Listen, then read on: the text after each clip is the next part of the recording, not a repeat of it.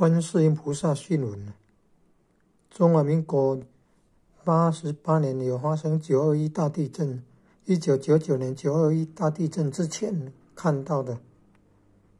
现在录影的是中华民国一百一十年，公元二零二一年，中华民国一百一十年一月份，因为那个一零九年呢。要发生瘟疫啊！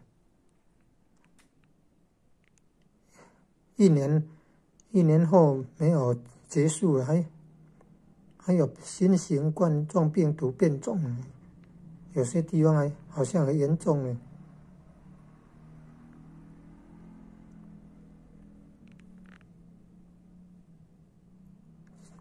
呃，里面提到那个灾难来临的状况，跟那个瘟疫。